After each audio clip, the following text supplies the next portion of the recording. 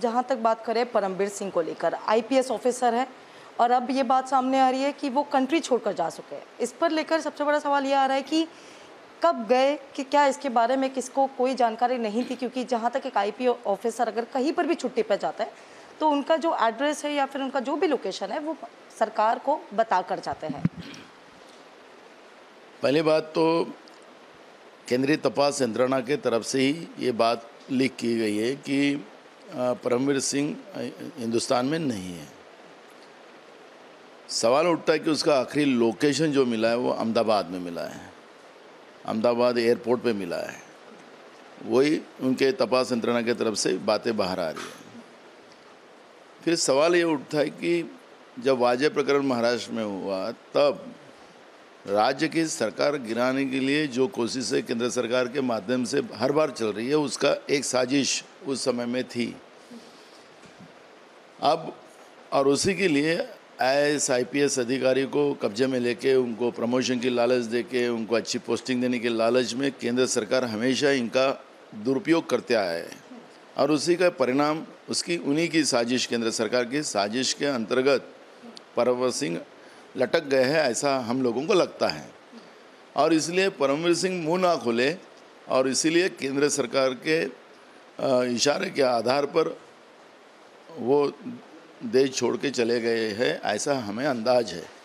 इसकी केंद्रीय तपास यंत्रणा के माध्यम से जो भी जांचें चल रही है, उन्हीं की तरफ़ से जो न्यूज़ आ रही है, उसमें ये बात तथ्य है, केंद्र सरकार अपनी गलती अपनी गलती को छुपाने के लिए परमवीर सिंह को देश के बाहर भेजा है। अब महाराष्ट्र सरकार की ओर से फिर भी किस तरीके के कदम लिए जाएँगे? क्योंकि अब सबसे बड़ा सवाल यही है कि एक आईपीएस सर्विंग आईपीएस ऑफिसर जो उनको ड्यूटी ज्वाइन करनी थी, एक रिस्पॉन्सिबिलिटी दी गई थी तो किस तरीके का एक्शन उनके खिलाफ एक इनिशिएट किया जाएगा? क्या जो है इनिशिएट अब महाराष्ट्र सरकार अभी अगर वो देश छोड़ के बाहर गए होंगे तो उसको राज्य सरकार और केंद्र सरकार की परमिशन लगती है। राज्य सरकार से परमिशन लेके केंद्र सरकार में भेजना पड़ता है।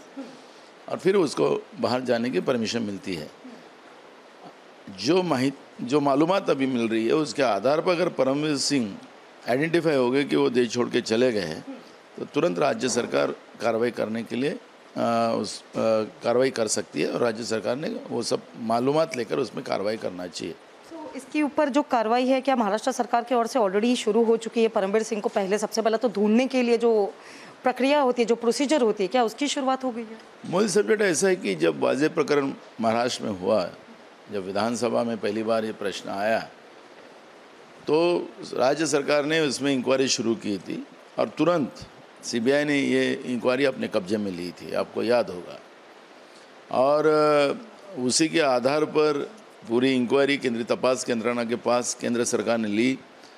ये एक बड़ी साजिश थी और वो साजिश के अंतर्गत जब वो परमवीर सिंह अब कहाँ हैं कहाँ गए क्योंकि जहाँ उनका पोस्टिंग था, वहाँ पर उन्हें कहा था कि मेरी तबीयत ठीक नहीं है, करके मैं ज्वाइन नहीं हो सकता। इस तरह का राज्य सरकार को उन्हें अपनी बात बताई थी। अब वो तो सेवा नियम जो होते हैं, उसके अंतर्गत वो किसी कर्मचारी की तबीयत ठीक नहीं है तो वो उस तरह का रिक्वेस्ट एप्लीकेशन दे सकते हैं। और उसी आधार पे थे। लेकिन ये सब इंक्वायरी तो ईडी के माध्यम से चल रही थी। जब ईडी के माध्यम से चल रही तो परमवीर सिंह कहाँ हैं? क्या है? उसकी इंक्वायरी क्या कर रहे ये सब बातें तो सामने आना चाहिए। और इसलिए केंद्र सरकार का ये पूरा हाथ है कि इस तरह के अधिकारी को, उनको साजिश में लटकाना, उसका गैर फ़ायदा लेना, राज्य सरकार जो विरोधी, केंद्र सरकार के विरोध के राज्य सरकार है, उनको बदनाम करना, ये जो बार बार बीजेपी की सरकार जो सात आठ साल से केंद्र में बैठकर कर रही है, उसी का परिणाम है कि आईपीएस और आईएएस अधिकारी आज दहशत में हैं। उसके बारे में मुझे कोई जानकारी नहीं नाना पटोले कह रहे हैं कि वो केंद्र सरकार कहा थे उन्हें देश से बाहर भगाने में। नाना पटोले कुछ भी बोलते रहते हैं। उनकी हर बात का थोड़ी जवाब दिया जाता है। वो तो कुछ भी कह सकते हैं। नाना पटोले ऐसे आदमी है कि वो तो मतलब अमेरिका के अध्यक्ष के बारे में भी बोल सकते हैं। उसके बारे में मुझे कोई जानकारी नहीं नाना पटोले कह रहे हैं कि वो केंद्र सरकार कहा थे उन्हें देश से बाहर भगाने में। नाना पटोले कुछ भी बोलते रहते हैं। उनकी हर बात का थोड़ी जवाब दिया जाता है वो तो कुछ भी कह सकते हैं। नाना पटोले ऐसे आदमी है कि वो तो मतलब अमेरिका के अध्यक्ष के बारे में भी बोल सकते हैं।